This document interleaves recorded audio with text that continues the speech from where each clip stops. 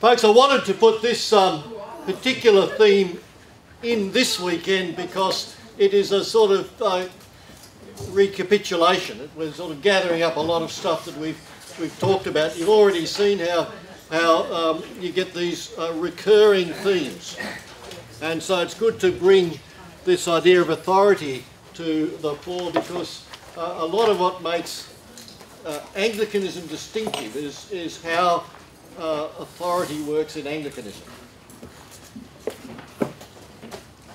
Uh, what is it that we talk about when we're talking about authority? Uh, Stephen Sykes uh, points out that we use terms like authority and power vaguely and often in interchangeably, and it's not easy to actually define it. Um, there's a sort of there's a lack of precision even in Scripture, where um, often um, the word exousia, which we often translate as authority, is uh, still sometimes translated as power. Um, but for the most part, um, the, the scriptures makes this distinction between what you might call authority, which is more internal, and power, which is more external.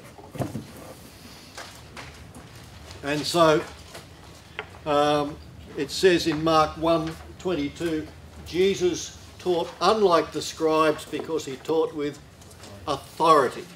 It's that uh, in, inner thing. Um, Avis gives us a definition of, of uh, power as the capacity to obtain compliance, whereas authority is a form of power where compliance tends to be given. And a good example of that is um, uh, this little exchange. Authority is, uh, is that uh, presence that, uh, that to which we respond and and we give uh, uh, we give permission to the other. The Reformation affirmed um, the Reformation was about authority to a large extent. So, uh, was the Pope the ultimate authority? A key point of the Reformation, as we've just been hearing, is that the Reformers affirmed the primary authority of Scripture and that authority working immediately, not mediated through the people of God, not working through a clerical hierarchy, but working directly amongst the people of God. And for that reason, the Bible was placed in the church, it was read in vernacular, and Scripture was, it was maintained that Scripture had sufficient perspicuity or clarity to ensure that the ordinary person could grasp its fundamental message of salvation. And so it's characteristic of the Reformation tradition that it operates uh, with a dialectic or, or, polarity of the word and the church. So uh, in the um, pre-Reformation church, there was the assumption that the word agreed with the church. But the reformers um, uh, held this polarity in which the church could be addressed by the word. The word of God in Scripture reigned for them over the visible church, the institutional church, and, and the church was continually in dialogue with Scripture as to who it ought to be or what it ought to be. Uh, some words from Stephen Spencer. He says, Here is a startling inversion of the authority of church and Scripture. The church was now given a subservient role in the economy of salvation. The church had no right to go against the word of Scripture, as Article 19 makes clear. The church hath power, church hath power to decree rites and ceremonies and authority in controversies of faith, and yet it is not lawful for the church to ordain anything contrary to God's word. Uh, that's a terrific summary of what the Reformation was about. It's how authority worked in the church. In giving primacy to Scripture, the English reformers did not follow some of their continental uh, counterparts in seeking that Scripture would dictate all elements of church life. Rather, the emphasis was more uh, focused on, the, on what I call the directedness of Scripture, which is towards salvation.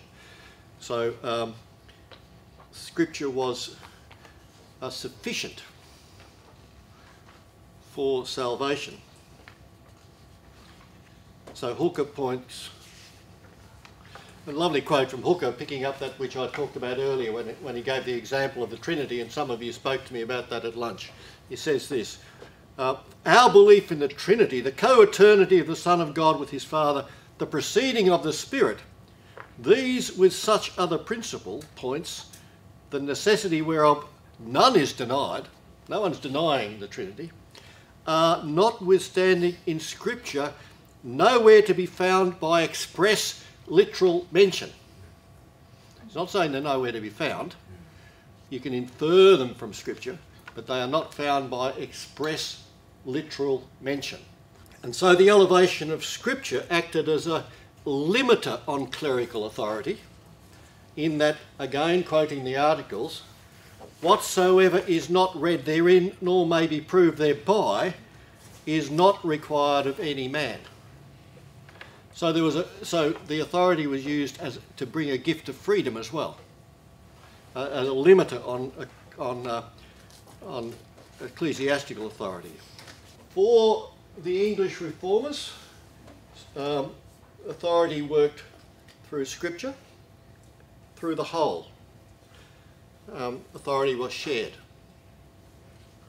The principle of conciliarity was taken up at the Reformation as John Jewel said, God grant that we may one day see that a general council may be called, where Christ may sit as president, and these matters that are now in question may have indifferent hearing, and may be decided by the word of God.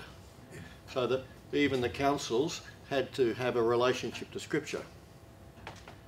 And uh, you've heard me say in the last lecture that Jewel goes on to make the point, though, that conciliarity wasn't just at the councils, they saw it as a working principle of the Reformation. So uh, Jewel could insist that the English Reformation was conciliar. He says it had not been conducted without councils, assemblies, conferences of learned men, particularly in Parliament and Convocation. And uh, again, Hooker held to that basic principle of authority that's articulated in the uh, conciliar tradition, uh, which is that um, the quote from Hooker, the power of governance is vested in the whole body and that consent is necessary for its exercise in matters either temporal or spiritual. The other observation we might make about conciliarity is that often uh, it can be valid even when uh, it can't be enforced. What do I mean? Um, well, it means that often decisions can be reached uh, or, or outcomes can be reached through conciliar process and they will gain their own authority. Authority is not always formal in the church. You know, things, things gain authority by, by uh, we'll come to this later more, but by what, how the church receives them. we talk about something called reception. And the church for instance, a good example of is one that we've referred to a number of times this weekend. We've given a particular place uh, to the Chicago Lambeth Quadrilateral in Anglicanism.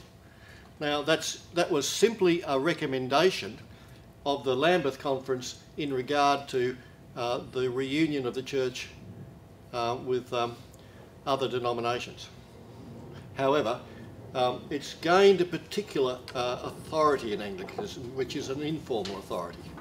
So it's, it's important to remember that authority often is um, something that works in a number of ways. So, so shared authority, the shared authority of monarch and bishops, but later shared authority in Anglicanism is reflected in synods and other gatherings.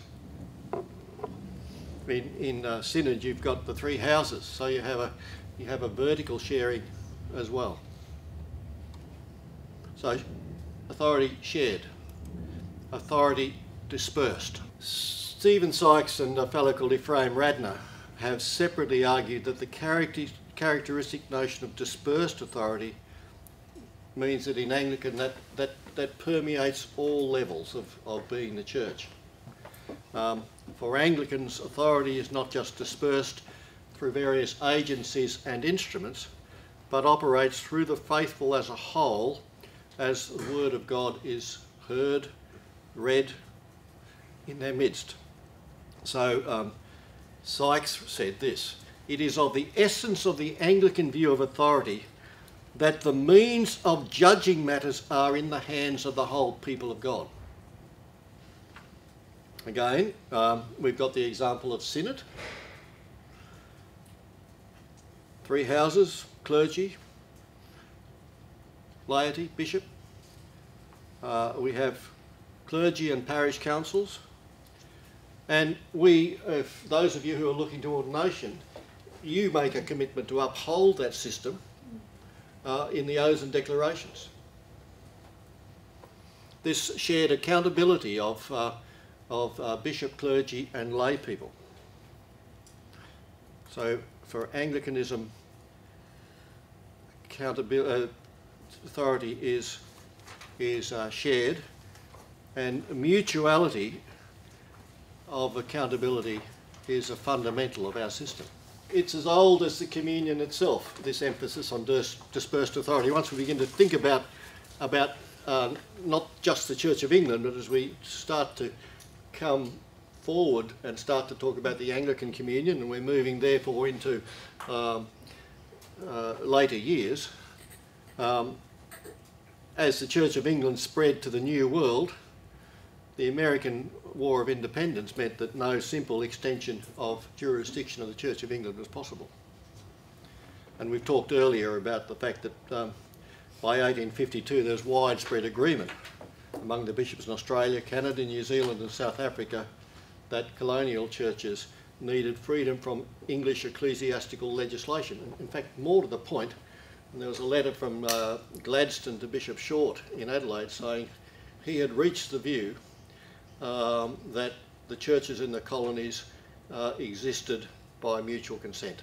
So that meant that they began to uh, produce uh, uh, their own instruments of authority in each church. So authority, uh, there was this historical movement that dispersed authority in the communion.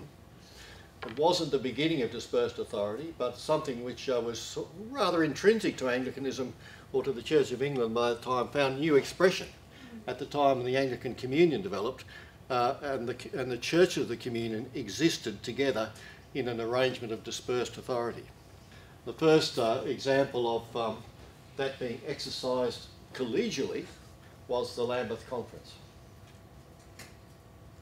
Uh, and we talked a bit about that where there was this push for um, some form of gathering of Anglicans from across the world finding themselves in a situation where they were aware um, that they had become a family of churches around the world, but were not confident that they knew how they related to each other.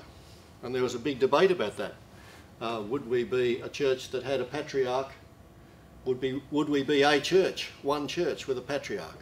Would we be a church that uh, could make uh, decisions through a general council of Anglicans. Uh, they called it for a pan-Anglican council or synod. You know, um, then we could have done what Bishop uh, Jonathan suggested and we would have just referred our, our, our, troubles to that one council and all would be resolved until another problem popped up a week later. But what happened, um, as we know, was that the Archbishop, Archbishop Longley, um, called a conference, not a council. And he called it at Lambeth, and it was there as a deliberative, consultative gathering. We ended up uh, with, a, with a communion of churches, with each national church autonomous, and, and authority therefore dispersed uh, in terms of the structure of our communion. There's one bloke in that photo who hasn't taken his hat off. um, why is it, might I ask, being slightly cheeky and, and, uh, and being under the jurisdiction of the Archbishop while I'm here, why is it that Philip Aspinall would notice these things? There's a fellow with his hat on. Third, third from the Third from the left. See, all, all the others are Oh, I holding, can see that. all the others are holding their hats, except I can see that. Yes. He might have been balls and his head was cold. Maybe he hadn't got his hair that day. Well, um, that that demonstrates entirely um, the diversity and unity of the Anglican community. There's always one in every crowd. We referred already to the Chicago Lambeth Quadrilateral, um, and this is Lambeth 1988, 1888, sorry, excuse my typo. Um, but, but I want to trace some of the Lambeth uh, statements on authority.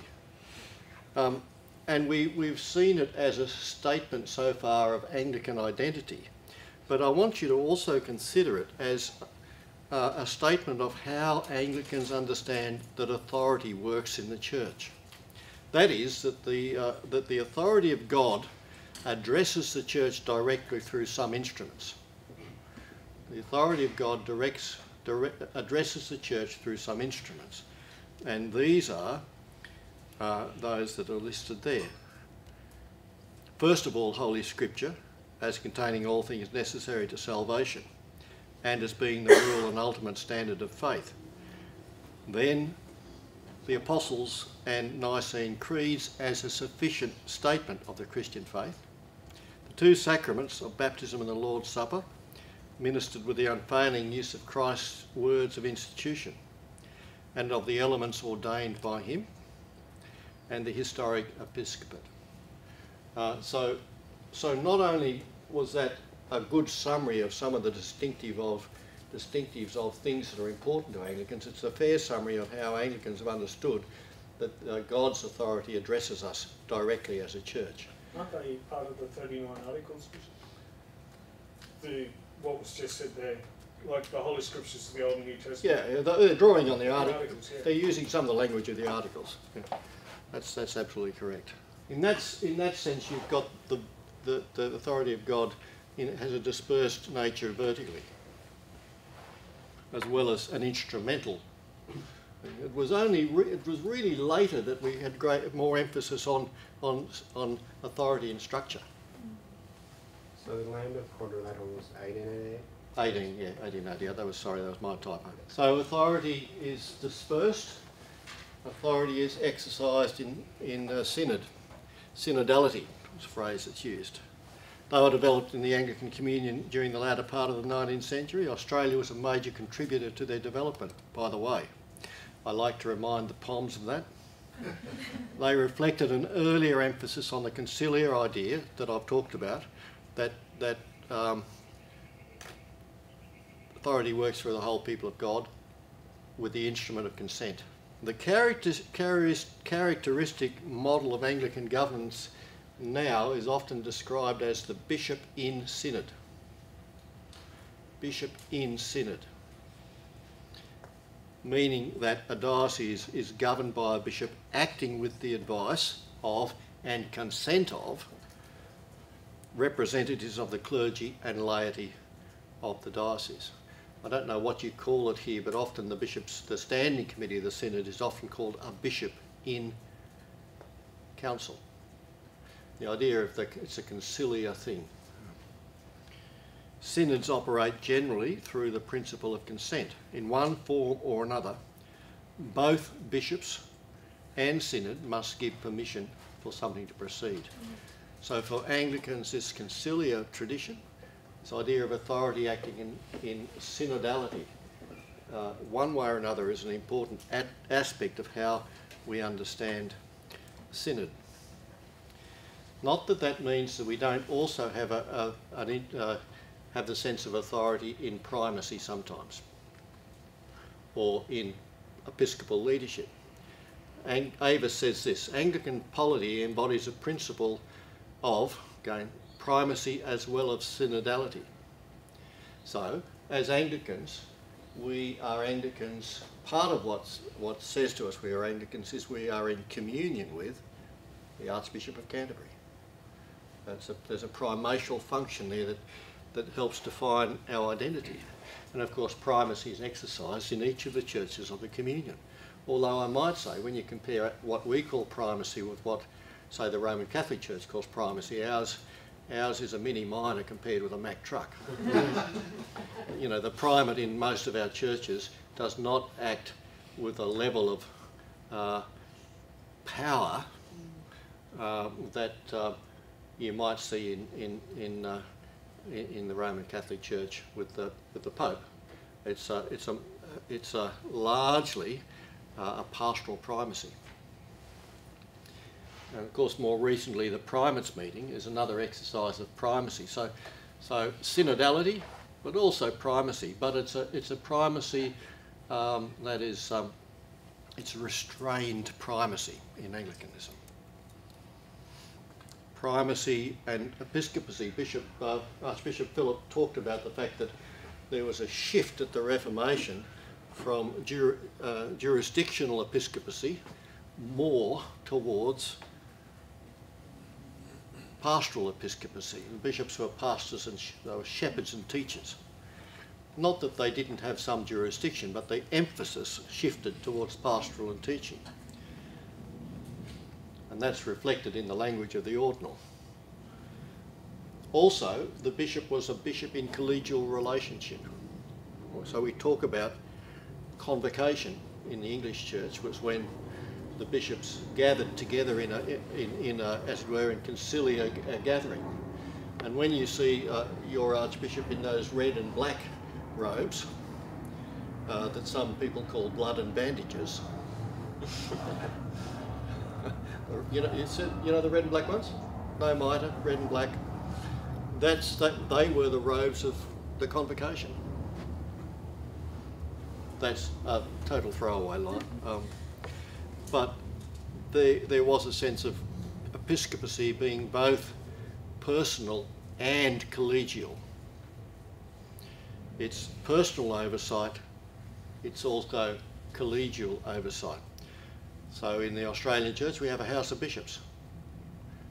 Um, and for, we do actually meet sometimes, or the, the House of Bishop does, House of Bishops do meet sometimes.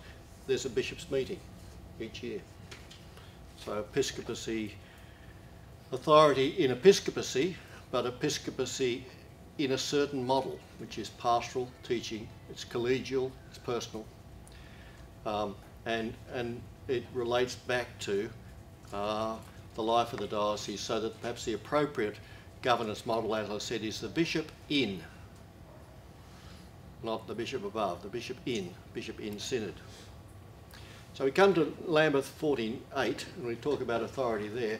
And the Lambeth Conference of 1948 says authority in Anglicanism is understood as singular and plural. And while singular, it's, it's also distributed. So it's singular because God is singular. It is singular because it derives from a single divine source reflected in the richness and historicity of the divine revelation the authority of God, the Holy Trinity. However, while singular, it said that 48, at 48 Lambeth, it says it's distributed.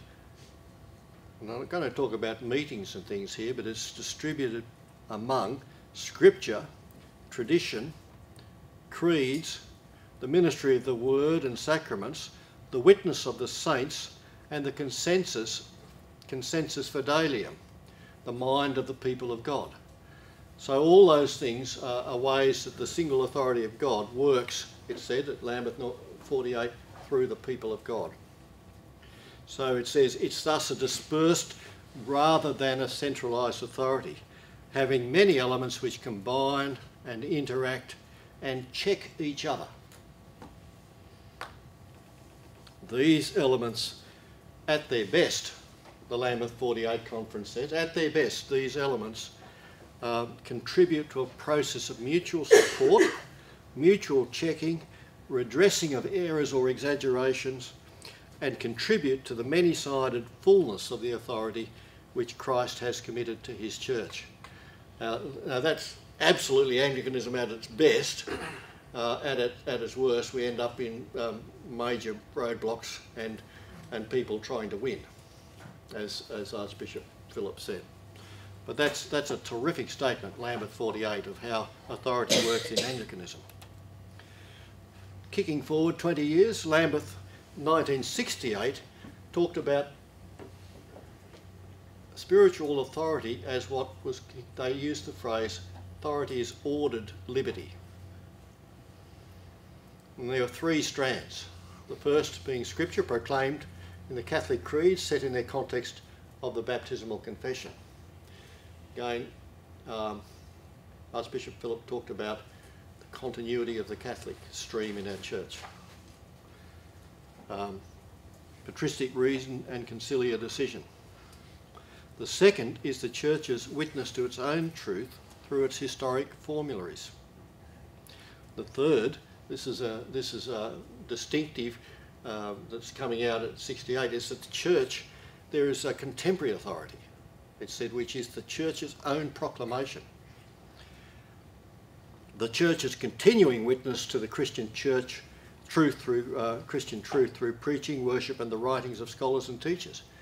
So again, you, you remember we talked about how Anglicanism gives particular space for uh, scholarship, for the for reason, and here it's in '68 it's being recognised as uh, part of the church's continuing witness to the truth um, through the writings of scholars and teachers, and quote, not least as exercised in historical and philosophical inquiry, as well as in the claims, it says, of pastoral care.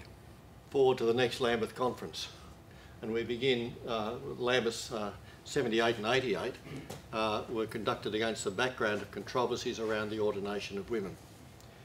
And the Lambeth conferences of 1978 uh, had to address, uh, 78 and 88, address the issues of authority in that context.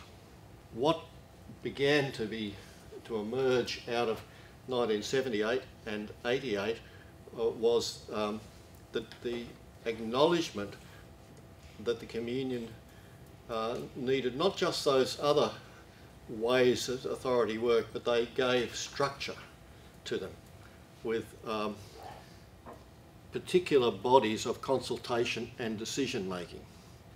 These embodiment of agents of unity included the Archbishop of Canterbury, the Lambeth Conference, the Anglican Consultative Council, which had come into being by this stage, and then um, around this time the Primates meeting was also acknowledged as uh, one of the instruments of communion whereby um, God uh, might the authority of God might work through the church, not in, not in a way that um, made binding decisions, but in the way that we were able to uh, give advice in the bonds of affection to each other.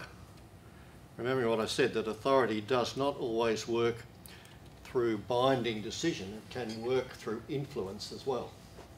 If you look at the Lambeth Conference, there are some resolutions of the Lambeth Conference, and I've given you the example of the 1988 Lambeth Quadrilateral, who sort of assume their own authority because um, the church has received them as wise.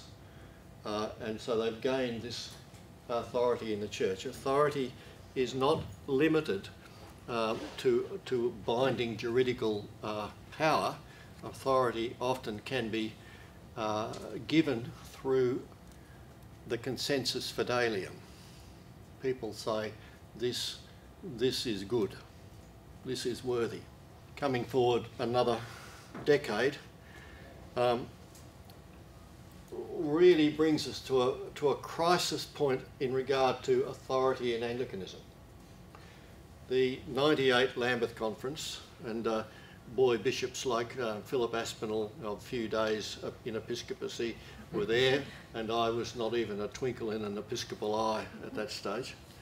Um, but the Lambeth uh, Conference of 98 uh, began, uh, I suppose it was the beginning of a, of a deep divide in Anglicanism around issues of human sexuality.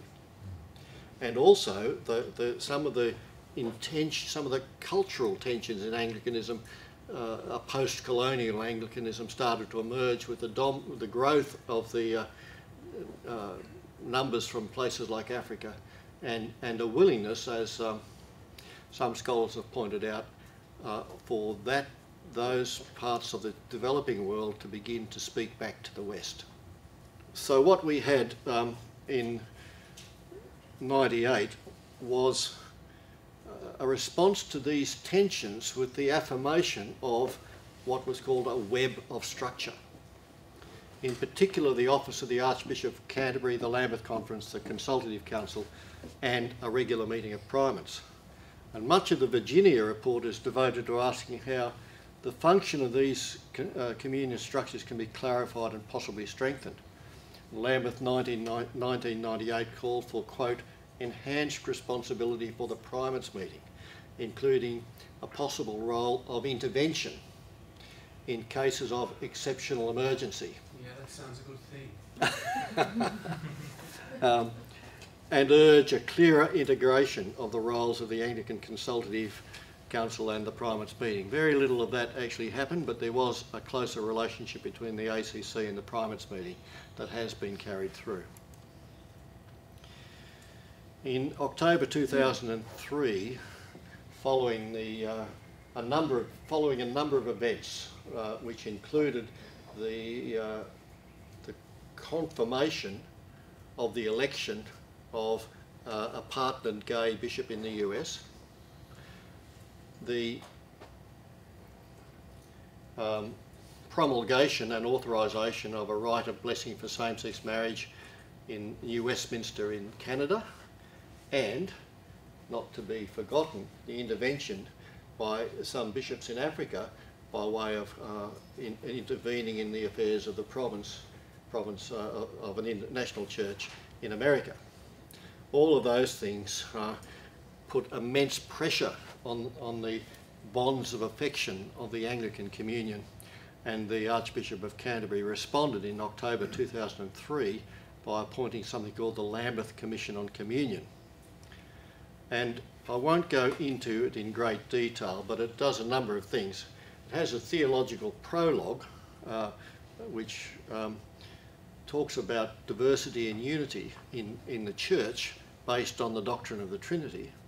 But then it puts an emphasis on the four instruments of unity as it described them, instruments of unity uh, and made recommendations about them, which basically are that they be strengthened. So the Archbishop of Canterbury was to be given authority to articulate the mind of the communion in matters of controversy and to speak directly to any provincial or that is to any national church on behalf of the communion and a council of advice was to be composed of suitable persons to provide for support to the Archbishop as he or she um, did that and to give the to give more authority to the um, Archbishop of Canterbury in addressing concerns in the communion. Besides that, the, there was a draft covenant that not only provided that the instruments of unity determine what issues could be dealt with at communion level and what didn't matter, what were adiaphora, but it also gave these instruments some sort of coercive or semi-juridical power to step in and resolve difficult issues in national churches. They, this was really a, a, a move to resolve the tensions in Anglicanism uh, by greater centralisation, uh, for authority to be somewhat centralised. Um, it's probably fair to say that, that those proposals were not greeted well. The need was understood, but there was a, a very uh, significant negative response throughout the communion. And uh, both, I think, uh, Archbishop Philip and I were both part of a working group for the Australian Church uh, where we said that we didn't think it would work and it was unrealistic and we were concerned that it supported a centralised jurisdiction in Anglicanism. It was a shift from this vision of dispersed authority and that Australia would be unlikely to make a statement of commitment uh, to an interdependent life of the communion which compromised provincial or national autonomy. I would argue that later drafts of the uh, covenant largely addressed these concerns, But the reason I, I've traced this issue about authority through to today really is to help you understand just how much we were shaped by these debates at the Reformation and how much those threads weave their way into your life today.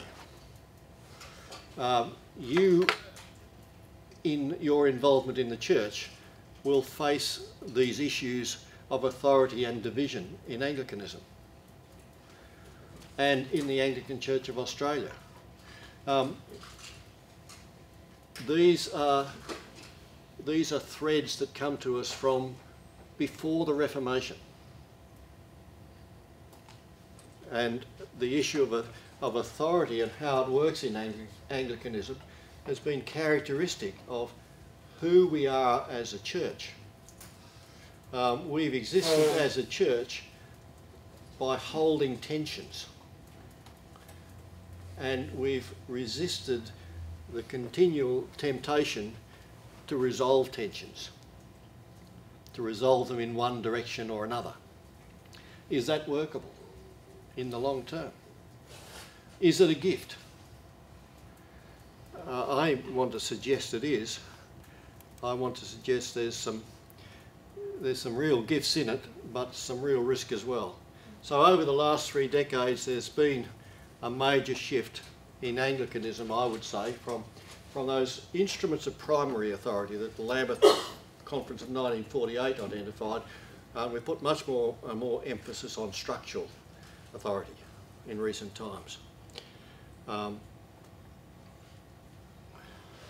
yet in a communion of autonomous churches, those structures actually have limited coercive authority. They can't decide anything. So there's a deep dissonance in modern Anglicanism, a deep conflict. And the idea of conciliarity is that what touches the whole should, in some sense, be decided by the whole, but at a communion level, we can't decide. We don't have, we don't have the capacity to decide. Well, let's um, look at a summary and then I'm going to conclude by reading something to you. Particularly since the Reformation, the Church of England operated by maintaining a, a sense of the primary authority of God's Word working through the whole people of God in a number of ways. And that sense of God's Word working was primarily Scripture, but wasn't only.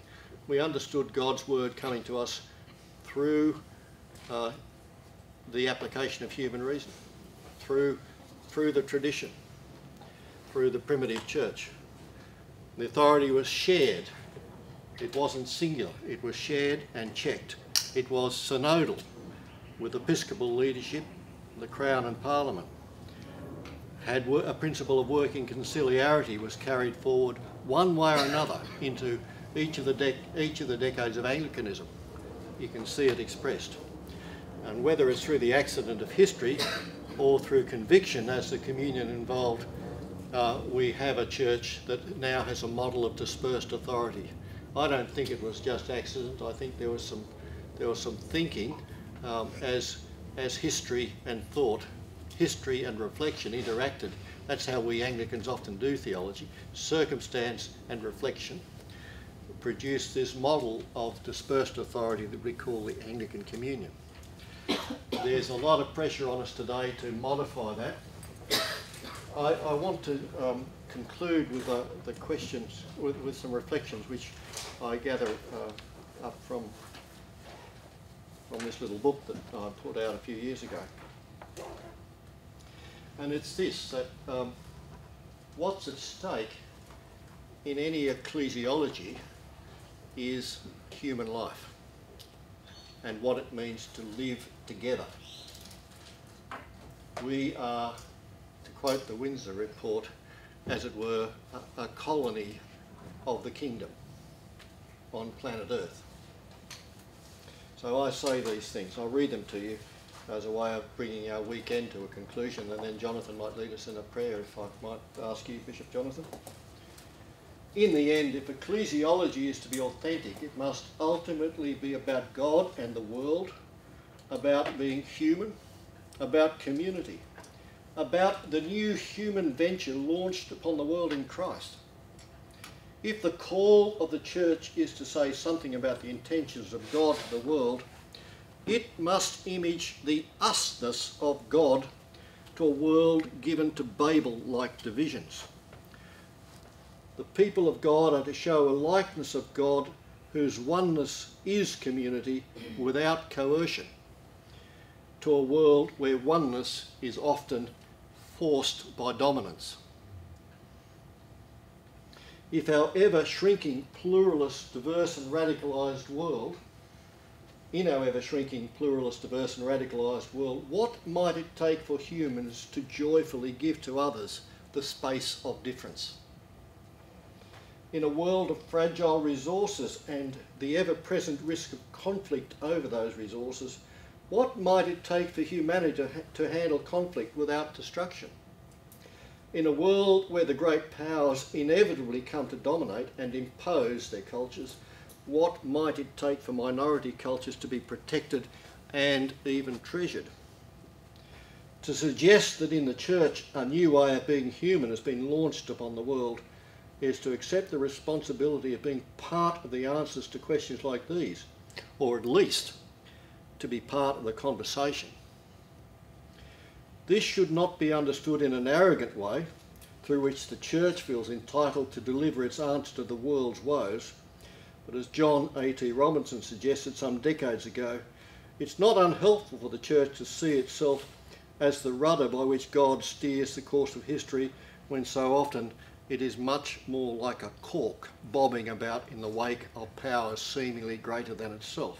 In looking at a series of Anglican Communion reports and comments, this brief study has sought to look forward and offer some suggestions about the developing of Anglican, Anglicanism's polity of persuasion.